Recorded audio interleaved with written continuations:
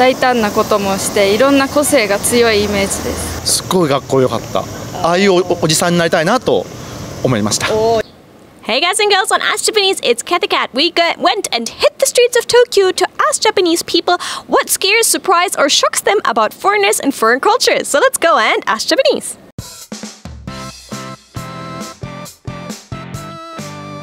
じゃじゃん今急に外国人が声かけちゃったんですけど外国人もしくは海外旅行でびっくりしたことはなんかありますか？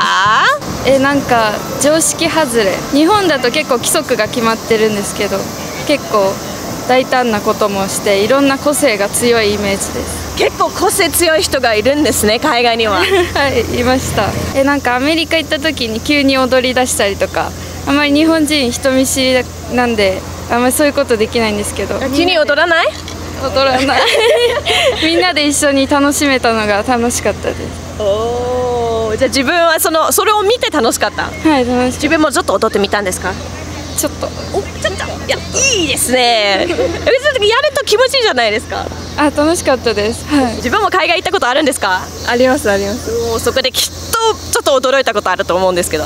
あの好きな服をみんな着てるなって思います。日本人って結構体型気にするんですよだからなんか短いズボン履きたくても足太いからみたいな人が多いんですけど海外の人はもうみんななんか自分の好きな服着てるなって思いました。確かにまあいろんなか体の形の人もいるんですもんね。そうですね。種類も多いしそれで関係なく着るって感じ。そうそうです。自分もなんかよしちょっと着たいものを着ようと思ったんですか？思いました。だけど日本に来ると？いや意外と好きなものを着てます。はいその髪の毛の色変えたきっかけもそれにつながってるんですか？ねそうです。海外の影響で？はい。おー嬉しい。えどこに行ってたんですか？アメリカと韓国、自分もアメリカと？あ私はアメリカだけです。はアメリカせっかく行ったのでアメリカっぽいよねみたいなのありました？いあ物が全部大きい。食べ物とかも日本にある飲食店行ってもい 日本の感覚で頼んだらすごい大きくて食べきれないとかありました。おお間違えて頼んで全部食べきりました？いやごめんなさいって感じ。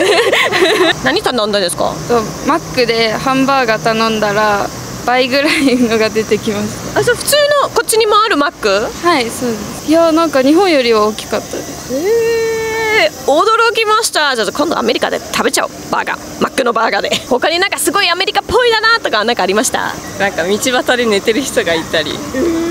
そういうのがアメリカっぽいなと思って。え寝てる人いたんですね？いましたな寝て本読んだりとかしてる人がいてなんか自由だなと思いました。あじゃあ別にホームレスとかではなく。そういうんじゃなくて一般の人が普通に本読みながら寝てるみたいなまあイタリアに住んでて半年ぐらい。わ語学留学で住んでてまあヨーロッパはいろいろいろんな国行ってああとはアメリカもありますしタイとか台湾も3回目来月行くのでよく海外旅行は。カルチャーショックびっくりしたこと。すごかったこと。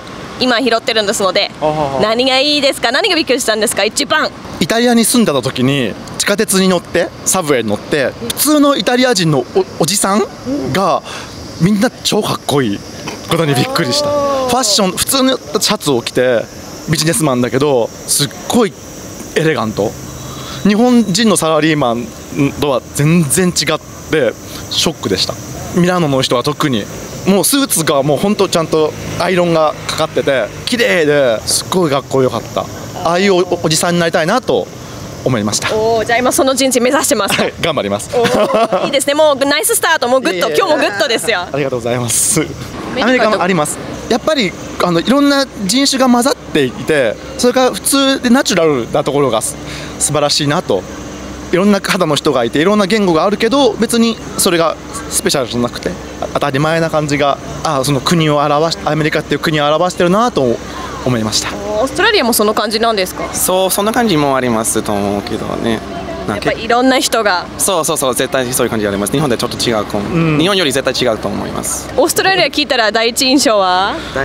第一印象はでもや日本人だと普通にカンガルーとか小腹になっちゃうかな。なんかオーストラリア自分のオーストラリア人って言ったら大体日本人はあなんか言うじゃないですか。いつもコアラとかカンガルー、ね。いつもいつもあコアラだねとかあカンガルーだねと言われてちょっとそうです。ちょっとえそれだけみたいな感じ。もういつもなんか海についてあ海もどうですか？綺麗ですか？と聞かれてちょっとうんそうですよとか。